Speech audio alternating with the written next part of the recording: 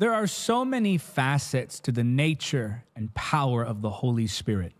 And as we go through the scripture, I pray that you see new sides to the Holy Spirit that you've never seen before. We're going to go through the Old Testament and look at the nature, the power, and the person of the Holy Spirit.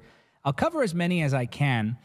And I want you right now just to ask the Lord to speak to you, to teach you about his precious Holy Spirit, that you might be drawn closer to the Holy Spirit, empowered and transformed. Now, I want to first look at how we see the Holy Spirit in Scripture. We see him specifically mentioned, we see him subtly mentioned, and we see him symbolically mentioned. By that I mean, for example, in Acts chapter 1, verse 8, he is specifically mentioned, but ye shall receive power after the Holy Spirit has come upon you. So there it's very obvious that the Holy Spirit is being mentioned. And then sometimes he's subtly mentioned, like, for example, in Isaiah 6. We wouldn't know that it was the Holy Spirit specifically speaking to the prophet Isaiah unless we took that particular portion of scripture and then compared it or cross referenced it with Acts chapter 28, where it is then revealed that it was the Holy Spirit himself who was speaking to Isaiah the prophet. So that is a subtle mention.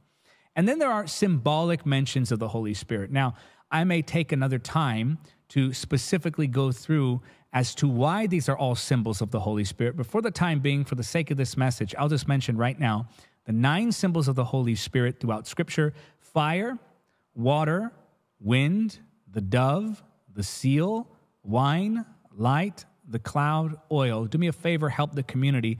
Leave that in the comment section for me.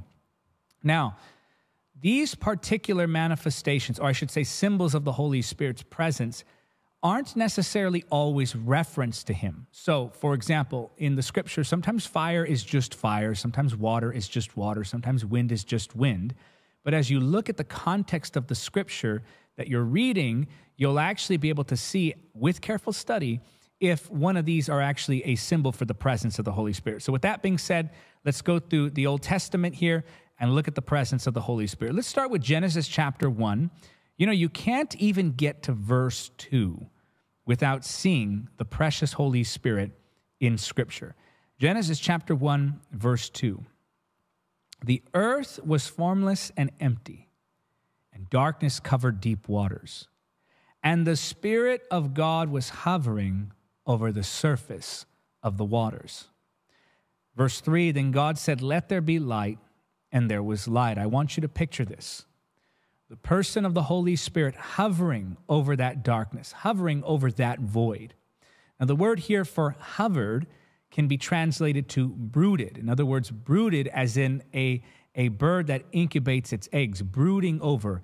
So, there we get a picture of a bird like creature or the dove, the Holy Spirit hovering over the emptiness, hovering over the darkness. And then God speaks a word and creation manifests. Here we see from the very beginning the partnership between word and spirit. Now we have to be careful because often we imagine that the word contradicts the move of the spirit and the spirit contradicts the word. Now, we don't say that outright, do we? We don't say, well, the Holy Spirit can't work with the Word and the Word can't work with the Holy Spirit.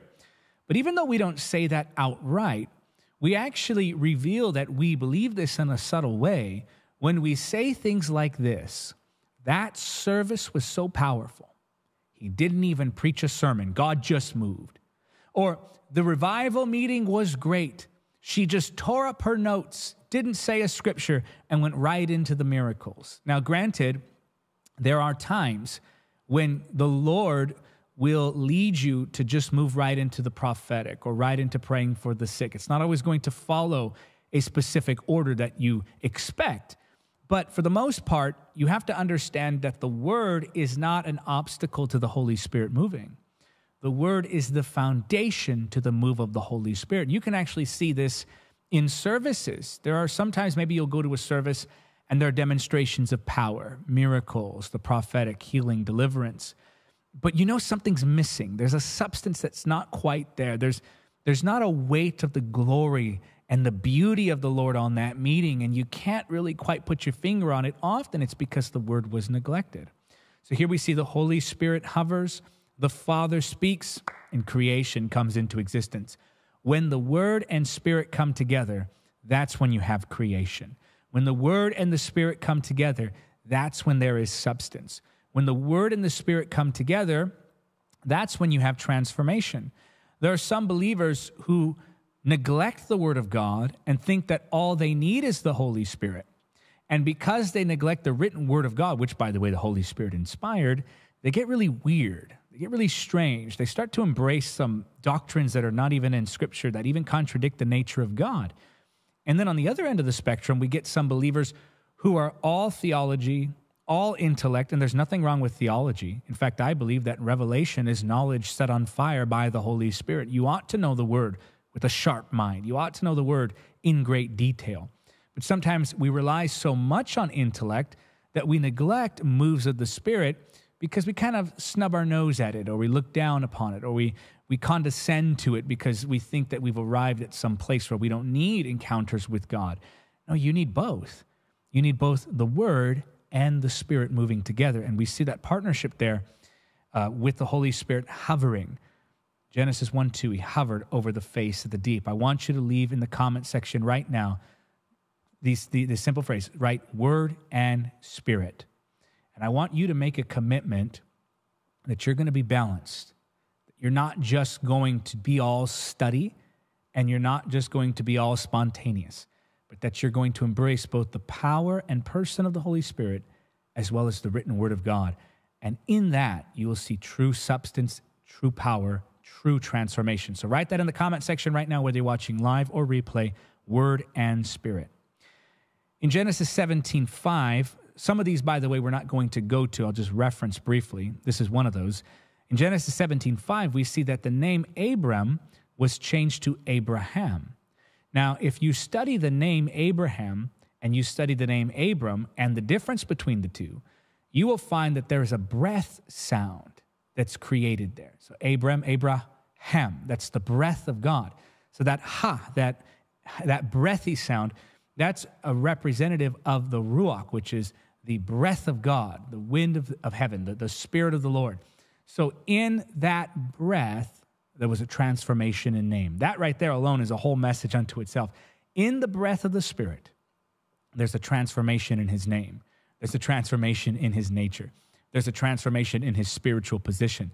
That's what the Holy Spirit does. He is the name changer. In Genesis 41 38, go there now.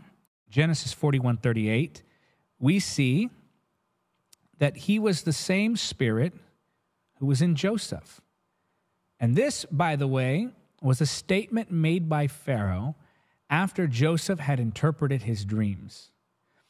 Verse 38 So Pharaoh asked his officials, Can we find anyone else like this man? So obviously filled with the Spirit of God. Now, here we see this is the spirit of the dreamer. So the Holy Spirit was present in the Old Testament. Many times believers imagine that the Holy Spirit showed up in Acts chapter 2, or that that's when he started his work. But as we're about to see, he is found all throughout the Old Testament his presence, his power, his nature, even the implication of his presence in some instances.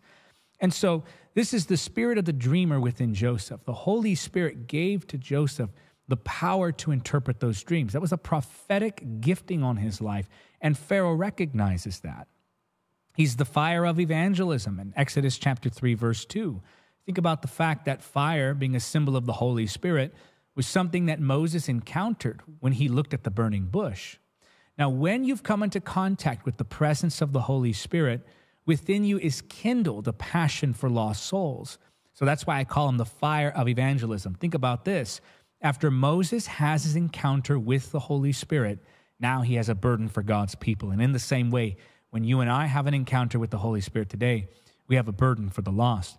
He's the precious oil in Exodus chapter 30, verses 22 through 25. He's the expert spirit. I love this one. Let's go, let's go look at this one. Exodus 31. Exodus 31, and I'm going to read verses, let's go 1 through 6. Then the Lord said to Moses, Look, I have specifically chosen Bezalel, son of Uri, grandson of Hur, of the tribe of Judah. I have filled him with the Spirit of God giving him great wisdom, ability, and expertise in all kinds of crafts. He is a master craftsman, expert in working with gold, silver, and bronze. He is skilled in engraving and mounting gemstones in carving wood and in carving wood. He is a master at every craft. Moreover, I have given special skill to all the gifted craftsmen so they can make all, th- all the things I have commanded you to make. So, here, as they're receiving instructions, where Moses is receiving instructions to have the tabernacle and its various items constructed and created, God says to him, I've given to you for this purpose craftsmen. Now, this is interesting to me because this revealed something about the nature of the Holy Spirit that many believers often overlook. You see, we understand that the Holy Spirit can empower us for the prophetic, or can empower us for discernment, or can empower us for healing, or can empower us to practice deliverance ministry. And these are all wonderful attributes of the Holy Spirit's nature.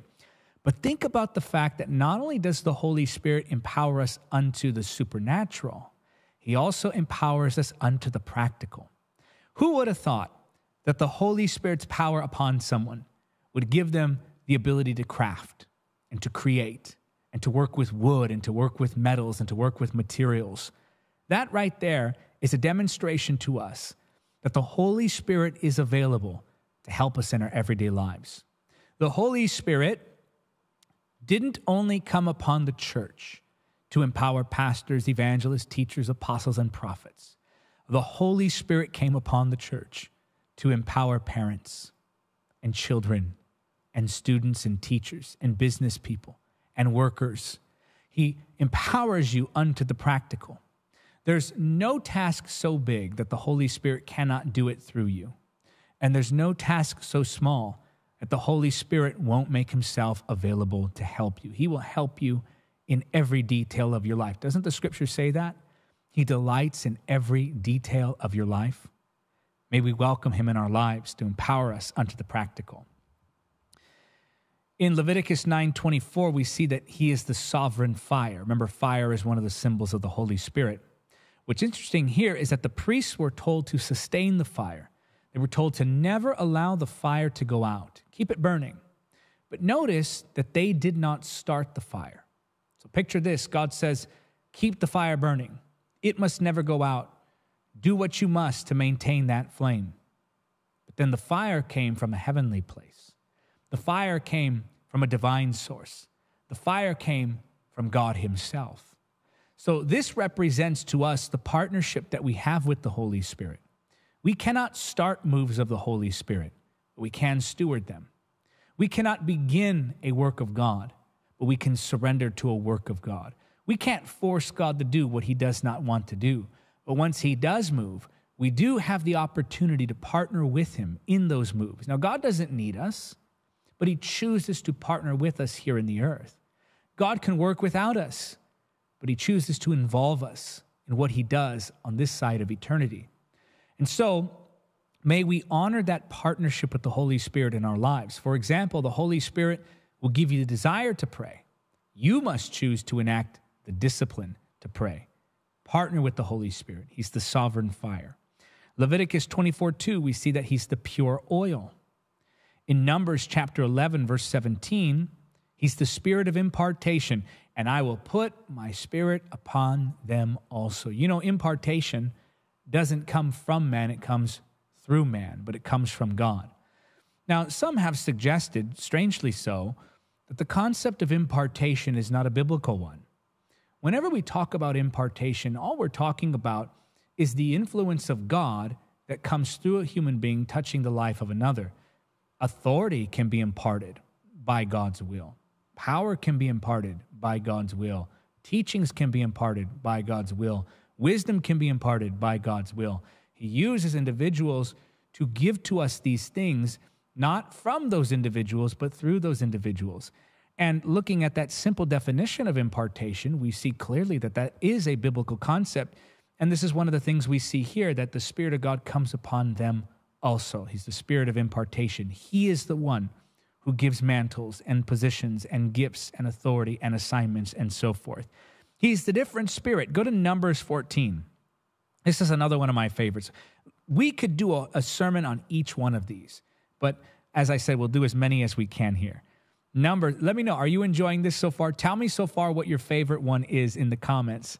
Uh, Numbers 14 24. Numbers 14 24. But my servant Caleb has a different spirit than the others have. He has remained loyal to me, so I will bring him into the land he explored. His descendants will possess their full share of the land. Twelve spies, ten gave a bad report, two gave a good one. And Caleb gave that good report. Why? There was a, there was a different spirit in him. There was something that God had placed in him by the Holy Spirit that gave him eyes of faith. Here's what I love about Caleb is that when others saw impossibility, he saw opportunity. When others looked and dismayed, he looked at God and believed. When others saw the problem, he saw God's power. May we have that different spirit within us. Now, of course, this is not a direct reference to the Holy Spirit, but it is a reference to the spirit in which he was operating. And we understand that the Holy Spirit is the one who influences our spirits to obey and do as God desires. So here we see a subtle work of the Holy Spirit. But the Holy Spirit was producing faith even in the Old Testament. The Holy Spirit was producing that hope, that, that ember, that fire that brings one to belief in God's power. May we have that different spirit when we approach the seemingly impossible. May we have that different spirit when we want to quit, when we want to give up, when we get so frustrated because we just don't see things working out the way we want them to work out, or in the timing we want to see them work out. We have that different spirit. He was the spirit in Joshua, Numbers 27 18. He was the fire by night and the cloud by day, Deuteronomy 133. The oil of prosperity, Deuteronomy 33 24. The spirit of breakthrough, Joshua 6, 3 through 5. Remember, I talked about that word ruach. That can mean spirit, wind, or breath. Notice then that when the children of Israel had marched around the walls of Jericho, they were told to shout or breathe, to release that breath of the Spirit. Think about the fact that it was the power of God that, caused, that caused the walls of Jericho to fall like water. And also that same power that caused the waters to stand up like walls. It was the breath of God. The scripture says the breath of his nostril. He released that breath, and the sea stood at attention, that it, it parted ways so that the children of Israel could walk through. So that breath makes the walls fall like water, and the, the water rise like walls. The spirit of breakthrough. He makes a way where there seems to be no way. He clears a path where there looks like there's no path. The spirit of discernment Joshua 7, 16 through 19. We know the story of Achan's tent. They found sin in the camp. How did they find that sin in the camp? It was through the direction of the Holy Spirit. He's the spirit of leadership. Judges 3:10. The Holy Spirit would come upon them so that they could lead. The fire from the rock, Judges 6:21. The spirit of conquest, Judges 11:29. The Spirit came on him and he led an army against the Ammonites. The fire of heaven, Judges 13:20 the spirit of supernatural strength. I love this, Judges 14 6. Just as he gave supernatural physical strength to Samson, so he gives supernatural strength of all sorts to you. He gives you that mental strength, that emotional strength, that spiritual strength. Just when you think you've given all that you had, the Holy Spirit comes to strengthen you and help you keep moving forward. The gentle spirit, Judges 16 20, he didn't realize that the Lord had left him. Now, I want to be careful with the way I describe this because, especially when looking at Old Testament instances, we have to be careful to filter them through properly new covenant perspective. We understand that the Holy Spirit does not leave a genuine born again believer just because they make a mistake. And so here, I believe this is speaking more to the manifestation of that power or the intensity of his influence. He didn't realize that he didn't have the ability what he, to do what he did before. So he's that gentle spirit. You know, you look at Acts chapter 2, and he comes upon the church like a mighty rushing wind. But here in Judges 16 20, he leaves as a whispered breath. The Holy Spirit has an announced arrival, but a quiet leaving. Now, I don't say that he leaves you in the sense that he abandons you or that he no longer dwells within you. I say that in the sense that he removes his influence from certain aspects of our lives when we walk in compromise. And of course, He'll convict us, He'll still speak to us, and try to help us correct that. And eventually, God will bring correction and judgment upon disobedience. But He is patient with us. So often we miss that, though. He arrives as a mighty rushing wind, but His influence is minimized as a whispered breath. And we don't even recognize it sometimes. We don't even recognize sometimes when the Holy Spirit has decreased His influence in our lives. We don't even recognize it when the Holy Spirit removes his hand from something that we're in. Here's the thing about the Holy Spirit is he will sometimes allow you to continue on the path where you're stubbornly walking so that that can ultimately bring correction. He's humble like that. He'll whisper, he'll convict, he'll correct, of course. But many people don't even realize when he's not in something anymore. And here's the sad truth we are so self reliant these days. We are so reliant upon programs, we are so reliant upon intellect, we are so reliant upon skill that often we don't even recognize the Holy Spirit having lifted his influence. In fact, were the Holy Spirit to remove himself from churches in America or around the world, many churches wouldn't even realize that he left because they're so self-reliant. He's the kind spirit of adoption, Ruth 2:21. Boaz is a type of Christ and wherever you see a type of Christ, you can see a type of the Spirit. The appointing spirit, 1 Samuel 10 1, 16 1, and 16 13. He's the spirit who speaks through you, 2 Samuel 23 2. I like this. Let's go to 1 Kings chapter 19. 1 Kings chapter 19, I want to show you something. Watch this here. 1 Kings 19, I'm going to read beginning at verse 11. Go and stand before me on the mountain, the Lord told him. And as Elijah stood there, the Lord passed by and a mighty windstorm hit the mountain. It was such a terrible blast that the rocks were torn loose, but the Lord was not in the wind. After the wind, there was an earthquake, but the Lord was not in the earthquake. On a side note, that's another example of where wind is just wind, because here it clearly outright says the Lord was not in the wind. And the earthquake, and after the earthquake, there was a fire, but the Lord was not in the fire. And after the fire, there was the sound of a gentle whisper. When Elijah heard it, he wrapped his face in his cloak and went out and stood at the entrance of the cave.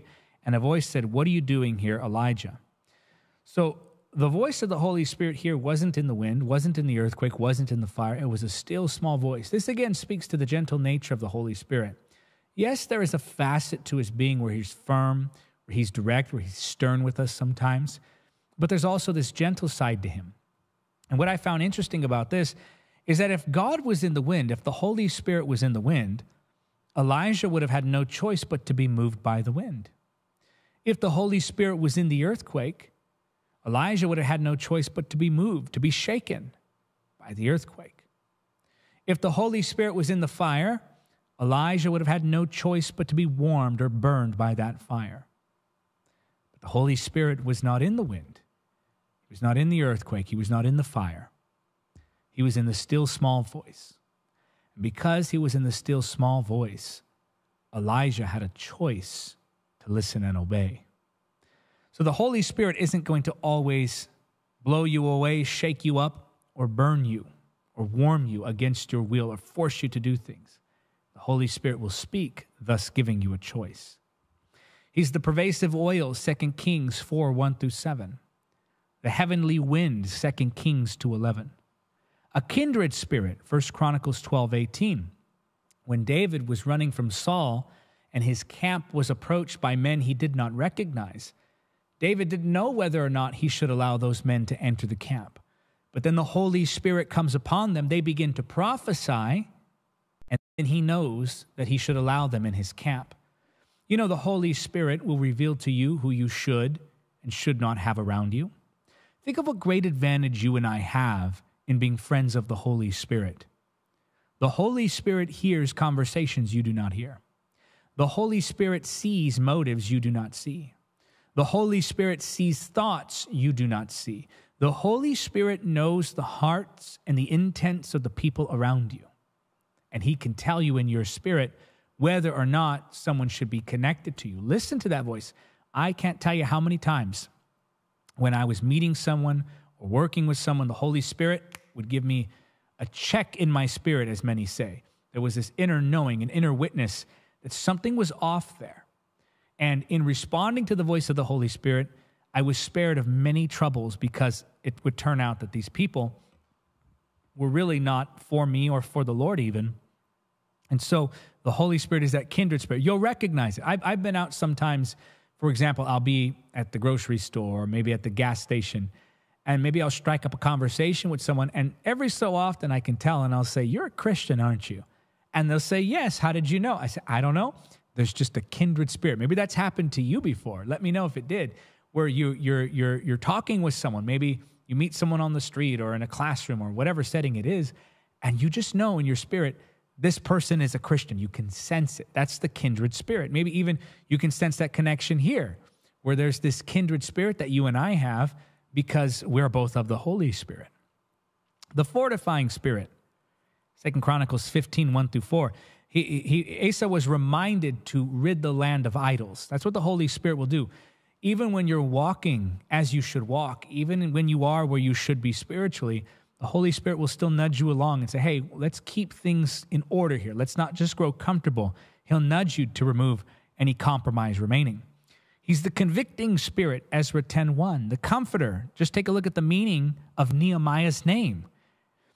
He's the good spirit in Nehemiah 9:20. You sent your good spirit to instruct them. What is good?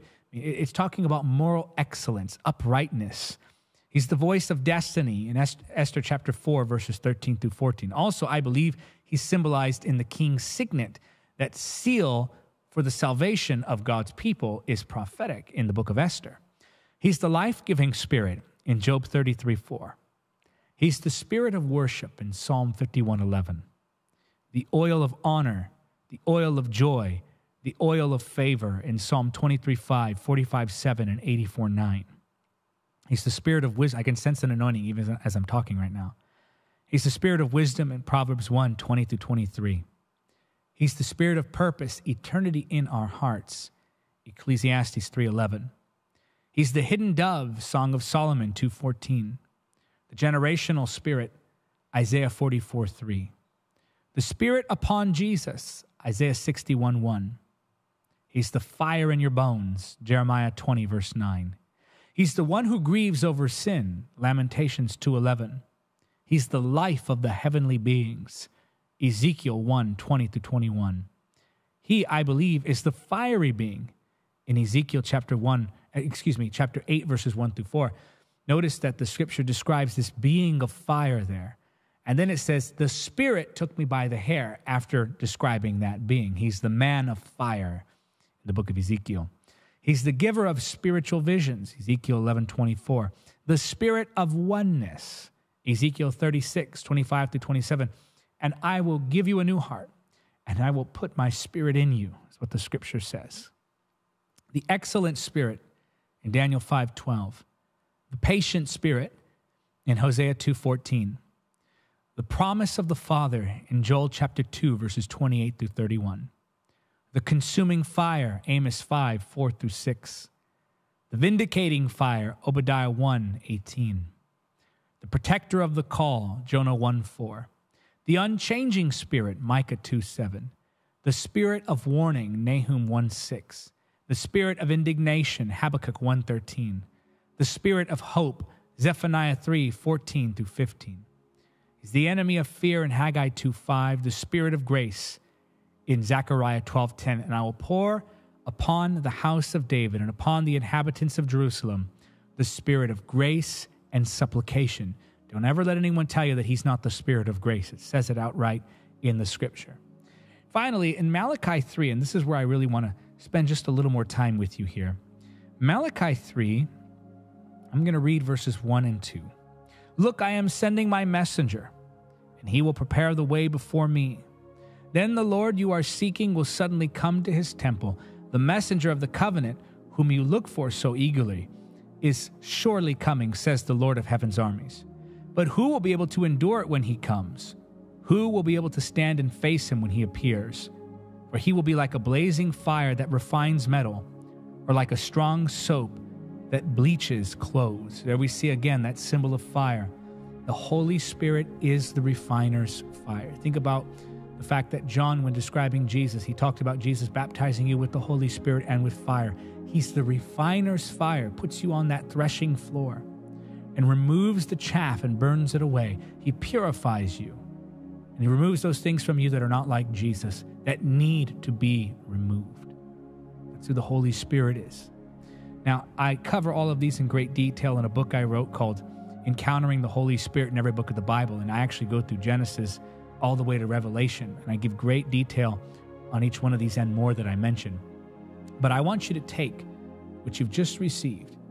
And I know you were given a lot here, but I want you to take maybe one or two revelations and hold it close just for the next few days. I'm serious. I want you to do this. I know just ignore the flesh right now. The flesh wants to click on something else, maybe watch something entertaining. This is edifying. This is for your spirit. I want you to make a commitment to take one or two of those truths and just hold them close to you.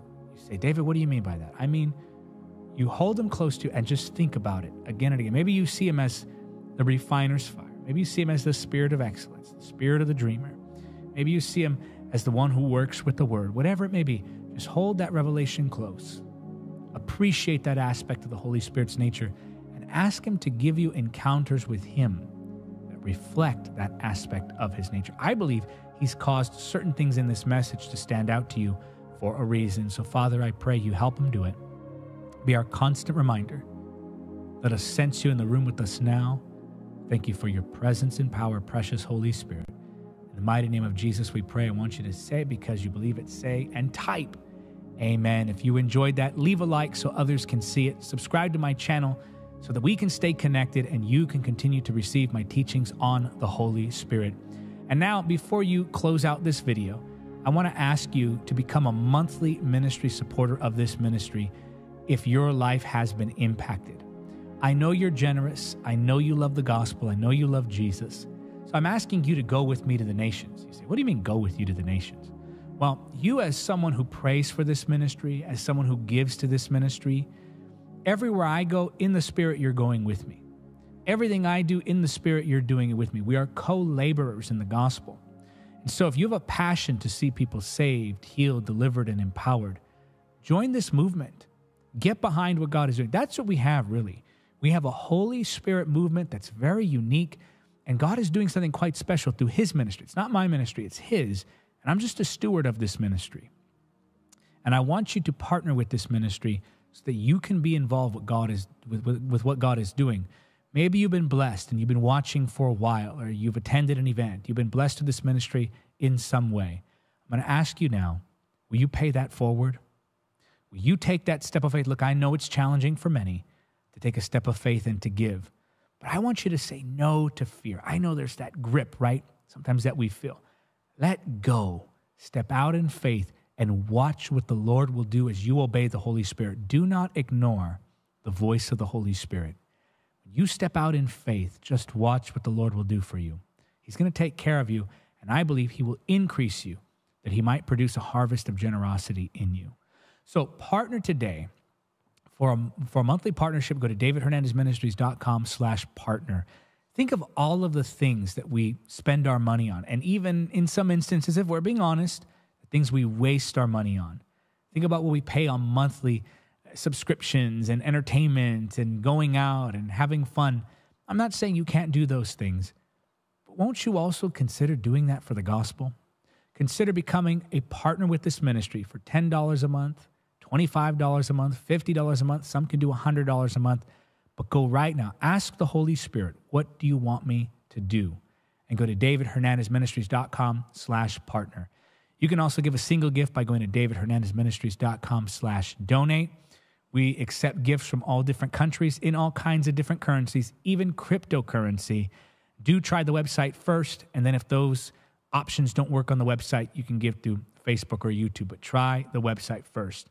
Go and do that today. I so appreciate it. Thank you for your giving. I love you and I pray for you. Until next time, remember nothing is impossible with God.